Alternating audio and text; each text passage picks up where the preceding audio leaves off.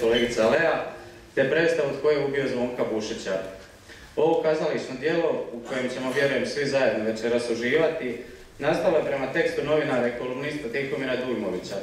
Za scensku adaptaciju zaslužan je Robert Kurbaša, koji glumi zajedno s Anom Vilenicom, čija je večerašnja i uistinu dostojna alternacija Lucija Dujmović. Posebno pozdravljamo sve studente i mlade, koji će večeras imati priliku vidjeti nevjerojatnu, emotivnu, ljubavnu i domoljubnu priču o uzvišenim idealima te bezvjetnoj ljubavi prema domovini, ali i o veličanstvenoj ljubavi dvoje ljudi. Predstava je polučila izvrsne rezultate kako kod kritičara, tako i kod publike. Prije predstave ćemo imati priliku čuti predavanje Julien Bušić na temu Zašto ste se spremni žrtvovati, a filmovi koje ste na ulaz dobili vaš su poklon istine od naše Julien. Iako ste vjerojatno mogli primijetiti, iza predstave na ulazu u dvoranu će biti moguće kupiti knjigu Tihomira Dujmovića s naslovom Tko je ubio Zvonka Bušića. Još jednom želim vam ugodnu dobrodošlicu na večerašnje predavanje i predstavu. Osjećajte se ugodno, a vjerujem da će nas ono što budemo vidjeli još više ispuniti i obogatiti, približiti nas idealima, a odmaknuti nas od sebičnosti.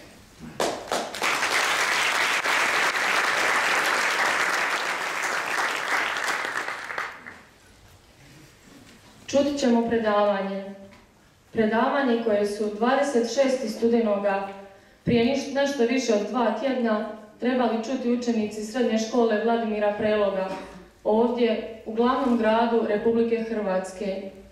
Istom onom Zagrebu u kojemu je naša večerašnja predavačica prije 48 godina lecima s nebodera osještavala naše društvo. Predavanje je bilo najavljeno i objavljeno, no ipak predavanje se nije održalo i oni ga nisu čuli. Glas se pokušao ušutkati, jer nekima ne odgovara baš svaka priča i baš svaka činjenica. Nama ipak odgovara. Zato smo ponosni što se na naš poziv odazvala književnica, prevoditeljica i heroina iz američkog Oregona, Julienne Bušić. Studirala je u SAD-u te u Europi, magistrirajući na području njemačkog jezika i jezikoslovlja. 1969. godine u Beču je upoznala Zvonka Bušića, a vjenčali su se 1972. godine u Frankfurtu. Često ponavljani opis Hrvata posebno se prigodan čini večeras, a on kaže Hrvat je pjesnik, Hrvat je vitez, Hrvat je romantični revolucionar i buntovnik. Hrvatu su čast i dana riječ svetinje. Hrvat od svega najviše prezire kukavičluk, dvoličnost i prijetvornost. Julie je pjesnikinja, Julie je viteškinja, Julie je romantična revolucionarka i buntovkinja. Julie su čast i dana riječ svetinje. Julie od svega najviše prezire kukavičluk, dvoličnost i prijetvornost. Ne pretjerujemo. Sve to piše između teških, ali ponosnih redaka njezine biografije, a prije nego čujemo redke njezinog govora, pozdravimo velikim pljeskom našu večerašnju gošću, ali i prijateljicu mladih, Julie Bušić.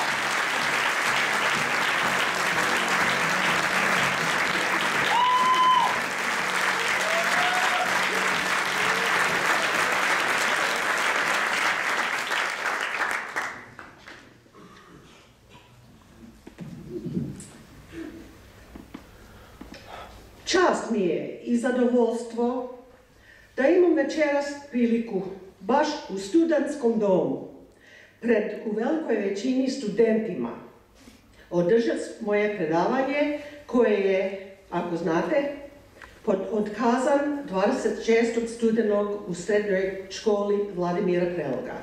Samo nekoliko sata prije no što sam ga trebala održati. Izgleda po naređenju Ministarstva obrazovanja na čelu sa ministricom Divjak, koja usput nije odgovorila na moje pismo u kojem sam tražila obrazloženje otkaz predavanja. Taj otkaz se dogodilo nakon intervencije par novinara koji su smatrali da bivša zatvorenica koja je već prije 30 godina odplatila svoj dug ne smije više prakticirati svoja ljudska prava i slobodu govora. Obični novinari koji misle da su kompetentni suditi i odrediti ko je podoban i koje su teme podobne danas u našim školama. Znamo da su škole mjesta za razmjene ideja, gdje studenti argumentima brane svoje stavove, gdje se raspravlja, i to žestoko. Škole nisu mjesta ograničenja, suženje prostor, straha, a to su htjeli od škole napraviti, ti par novinari. To su očito htjeli u Ministarstvu obrazovanja. Neće proći, jer ako niste znali, nismo još u Jugoslaviji. Uvijek se nađe mjesto za razgovor, za predavanje, kao što sada vidimo. Umjesto pred 30 studenta govorim sad pred stotinu. Eto, imam još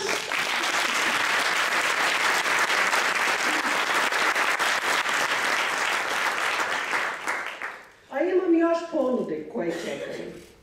Dakle, hvala tim novinarima koji su zabunom meni pomogli odvoriti temu o slobodu govora. Sad ćete čuti što se htjelo zabraniti. Bićete možda iznenađeni.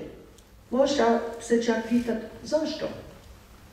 Evo, moj govor. Na početku moram kazati dvije stvari. Prvo, da sam počašćena što ste me danas pozvali k sebi. I drugo, da sam malo nervozna.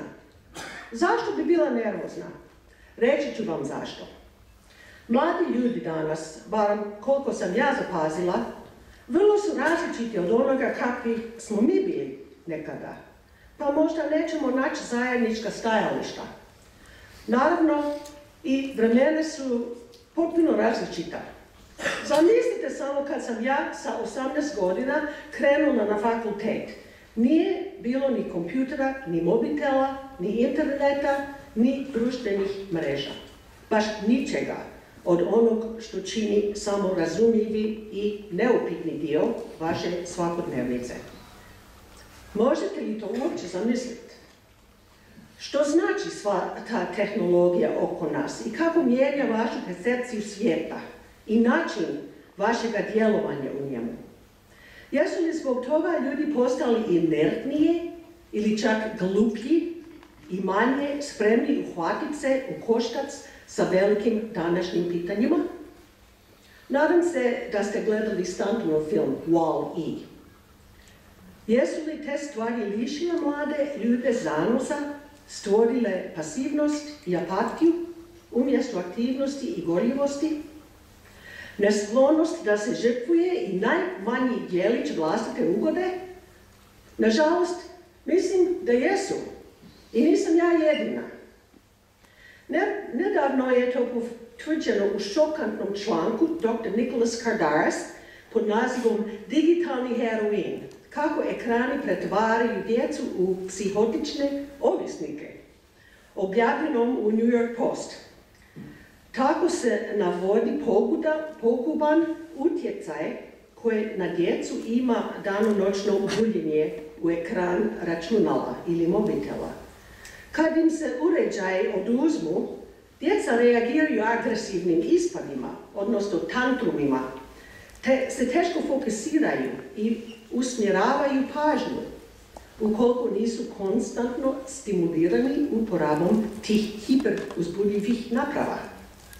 Ono što dodatno zabrinjava jest da djeca postaju apatične, ne zainteresirana te im je dosadno ako nisu uz te takozvane gadgete svih vrsta i oblika. Situacija je gore, no što mislimo? Ti su uređaji zapravo svojevrsna digitalna droga i utječu na mozak na isti način kao što to čini i kokain. K tome u stotinama kliničnih istraživanja dokazano je da izloženost digitalnim napravama i medijima pojačava depresiju, ansiožnost i agresiju, te čak može dovesti do pojave psihotičnih stanja, kao na primjer kad gameri izgube dodir sa stvarnošću. Naš, se stan nalazi u blizini psihijatrijske bolnice Vrapće, kamo svakoga dana dolaze čitave grupice tineđera. I često sam se pitala što ondje rade. Meni su se činili prilično normalni. S vremenom sam doznala da ih se liječi od ovisnosti o elektroničkim napravama. Dakle, tako je i u Hrvatskoj. Digitalna ovisnost. A možda se sad pitate kako to i u, zapravo ima veze sa temom pred nama. A tema je, da vas, da vas podsjetim, na što smo se spremni žrtvovati.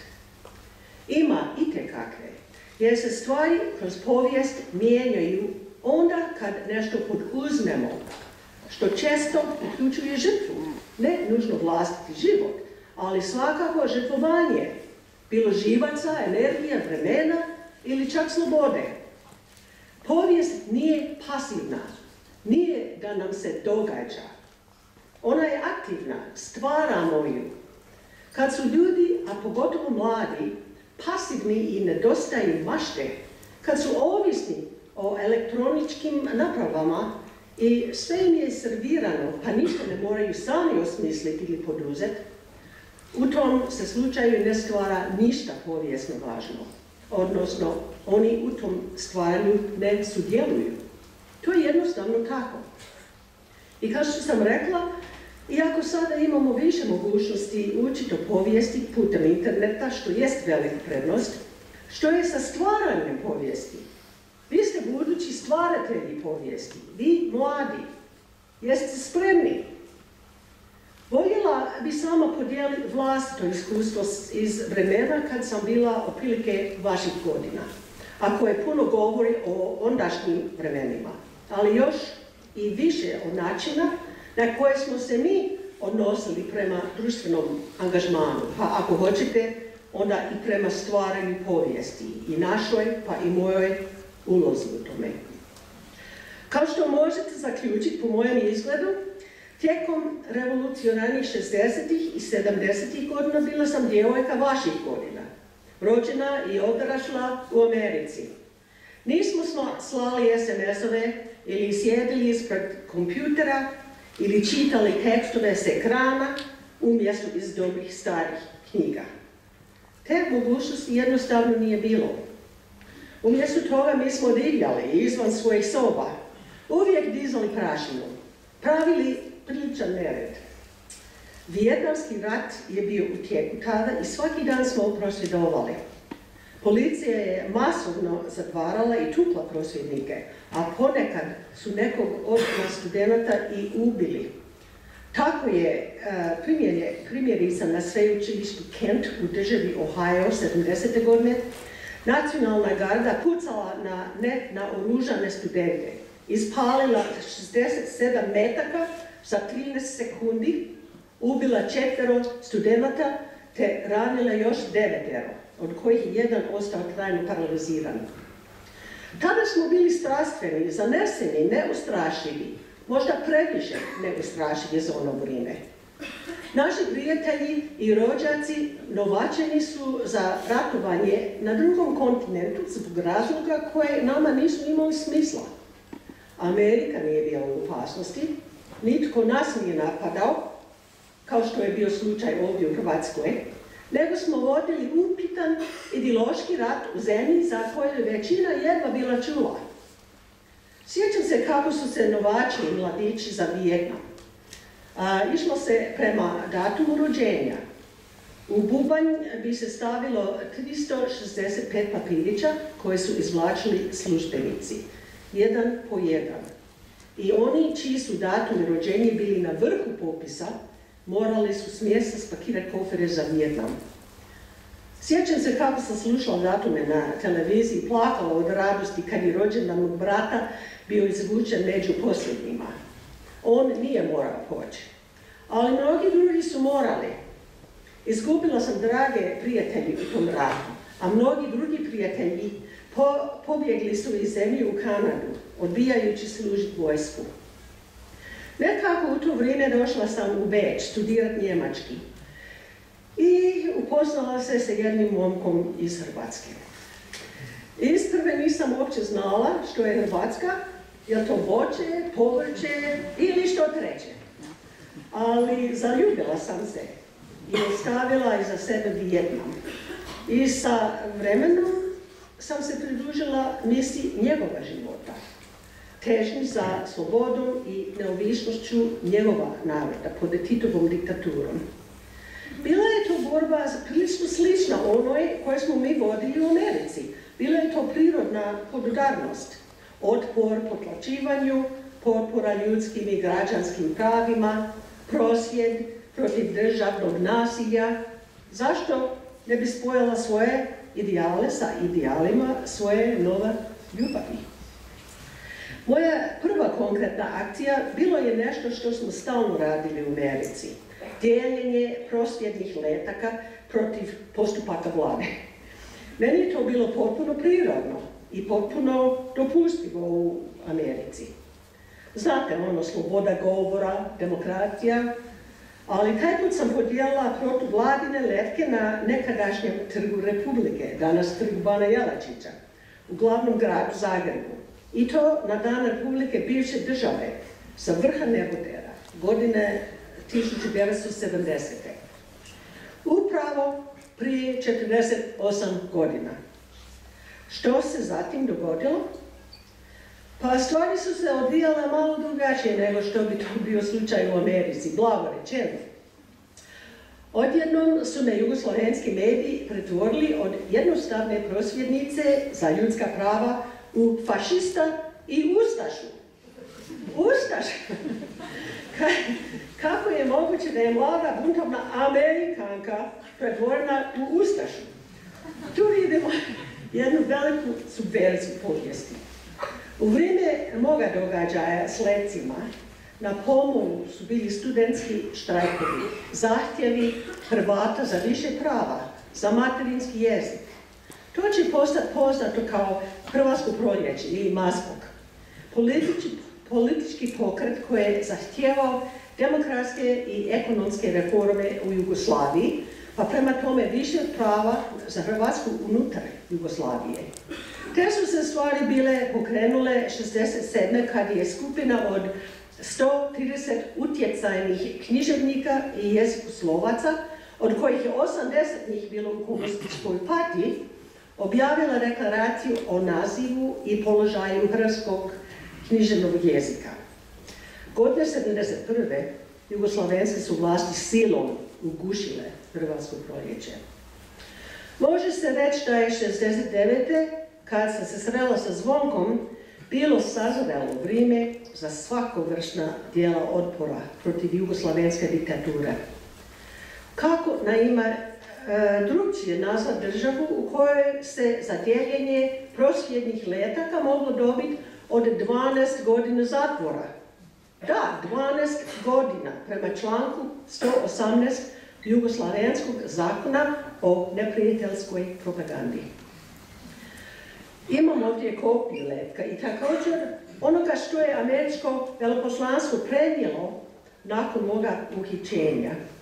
Zanimljivo je također usporediti povjerljivo izvješće koje je američko veleposlanstvo poslalo u Washington o sadržaju letka sa reakcijama jugoslovenskih medija i vlade, koje su bile uvijek iste jer su mediji po tadašnjem raširenom običaju služili kao glasnogovornici vlasti. Komentirali su ovako. Ti leci, iako nimalo pohvalni prema jugoslovenskom vodstvu, nisu bile takve naravi da bi pozivali na javnu osudu oni nisu zagovarali nasilnu akciju, nego su poticali Hrvate da se hrabro odupru nepravdi. Drugim riječima, Amerika je osjećala da su leci zagovarali razumne i široko prihvaćene zahtjeve. Jugoslovenski mediji, zapravo vlada, osudili su taj događaj, citiram, kao čin ekstremistički, nasilni, fašistički, ustaški elemenata koje djeluju izvan zemlje, kraj citata. Što je zapravo jugoslovenska retorika i taktika koja je rabila više od 50 godina da se diskreditiraju svi disidenti i oponenti tadašnje vlasti. Bivši američki veleposlanik u Jugoslaviji, Lawrence Silberman, prepoznao je to uskoro nakon dolaska u Beograd tijekom 70. godina. U članku u uglednom časopisu Foreign Affairs napisao je sljedeće. Hrvatski se emigranti uvijek opisuju kao ustaše, bez obzira na to kako je njihovo političko stajalište. Naravno da me je Udba špionirala kad sam se vratila u Beč nakon zatvora u Zagrebu, ne bili otkrili ko su mi bili suradnici. Nisu baš bili uspješni. U jednom izvješću, godinu dana nakon bacanja letaka, pišu da me, citiram, Stapu pratio stalno od ponovnog dolaska u Beč, poslije izdržavane kazne u SFRJ, ali nije mogao da dođe do kakvih podataka koji bi ukazivali na njenu političku ili terorističku djelatnost. Pa nije iznenađujući jer sam uglavnom tulumarila i pila pivo sa ekipom Spracu. Kao studenti i studentice, a povijest je sigurno jedan od najvažnijih predmeta, ili bar meni bila, vi svakako imate zadaću dublje kopat, pa istraživati sumljive službene verzije događaja koje proučavate. Utemeljenim istraživanjem odklanjati dezinformacije, pa i laži, iznositi ih na vidjelo, ne odobravati ih, ispravljati ih. Vidimo svaki dan kako se revidira i nedavna hrvatska povijest, pa bi uskoro mogli biti izbrisani, potpuno pogrešno interpretirati interpretirani ili potpuno prešućeni glavni povijesni događaj ako o njima prestanemo govoriti ili pisati. Hoćemo li za par godina u hrvatskoj školskoj literaturi čitati o podjednakoj odgovornost svih za agresiju koja je uslijedila nakon raspada bivše države ili možda još izravnije da je Hrvatska kriva za rat. Jer čini mi se da je revizija već počela ili hoćemo li u hrvatskoj školskoj literaturi čitati da je bivši socijalistički sustav bio sjajan, da je štitio ljudska prava, da je sve bilo med i mlijeko i tako dalje, kako mnogi još uvijek govore. I dok trenutno razmišljamo o nekoj vrsti zakonodavstva koje bi iz javnih službi uklonilo one koje su u bivšoj državi bili upleteni u kriminalna dijela, kao što su mučenje ili ubojstva, Možemo se upitati koja je zadaća studenta u tim procesima. Koja je vrlo konkretno uloga studenta ako su takvi pojedinci, primjerice, sudionici samog školskog sustava u današnjoj Hrvatskoj. Jedan takav stvarni slučaj vam moram ispričati jer radi o mom prijatelju Marku Grubišiću. Iznesen je nedavno u medijima, ali nije dovoljno naglašen. Prema svjedočenju Marka Grubišića, studenta i političkog zatvorenika iz 80. godina, Ante Barišić, koji je bio profesor političkih znanosti na Zagrebačkom učilištu, a koji je u međuvremenu umro, bio je njegov nekadašnji mučitelj. Da, dobro ste čuli, njegov mučitelj. U intervju za jutarnji list prije par godine Grubišić je između ostalog rekao, citiram, na mene tada primijenjene metode Barišićeva isljeđivanje su vezanje za radijator posebnim listicama, po njemu takozvani španjolkama, uz grube nasrtaje, kojima je pokušavao iznuditi željene odgovore. Često upov treba prijetnji pištoljem, prislanjanjem na slijepo ošnicu, uz prijetnju ubojstvom. Prijetnja izbacivanje kroz prozor s trećeg karta, uz režiju moga bijega i kao posljedicu Barišić je obećavao robio od 15 20 godina. U sve gore navedeno tvrdio je da i moje odvjetnici pripadaju Ustaškoj bandi i da su zagorni u istoj zgradi te da mi neće pomoć, kraj citata. U kontekstu naslova ovog predavanja, hipotetsko pitanje je sada, što biste vi učinili da se sve ovo odnosi ne na Barišiće već, na primjer, nekog drugog profesora s kojima se svakodnevno srećete i čije predavanje pohađate.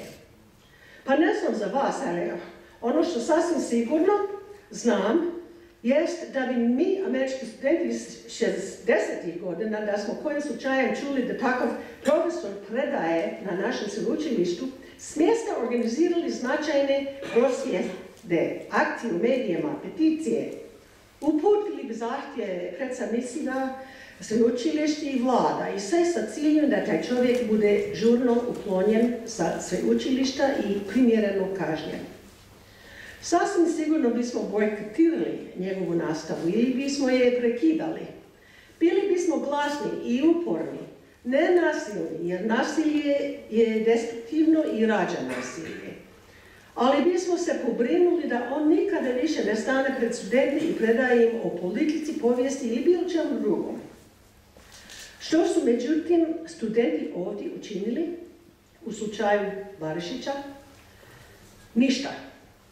To je, barem meni, apsolutno nevjerojatno.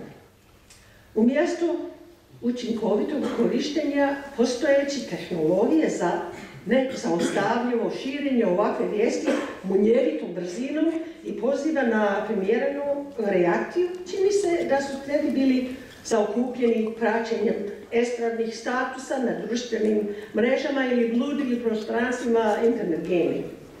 A ti par novinari koji su mene htjeli ušutkat zbog jednog predavanja, jesu li zbog Barišića koji je svaki dan godinama imao predavanje protestirali? Ne. Ne, nisu. O tome nisu pisali ni riječ. Eto, to je ono što sam mislila kad sam prije govorila o razlikama između studenta i 60. godina, kojem sam ja pripadala, i današnjih studenta. Ja sam kao američka studentica u Jugoslaviji izvršila zatvor, zato što sam bacala obične lepke. Ne govorim to da bih se pohvalila. Bile su stotine, tisuće drugih hrabrih od mene u, u suprotstavljanju diktatorskim režimima. Nego da pokažem kako smo bili spremni podnijeti i žrtve za svoje ondašnje ideale i vjerovanje. Današnja mladost, tako mi se čini, nije voljna to učiniti. Ili zato što nema više ideala, ili zato što ne podnosi žrtvu, ne znam. Ali kako nije bilo nikakvih demonstracija protiv Barišića ili bilo čega sličnoga.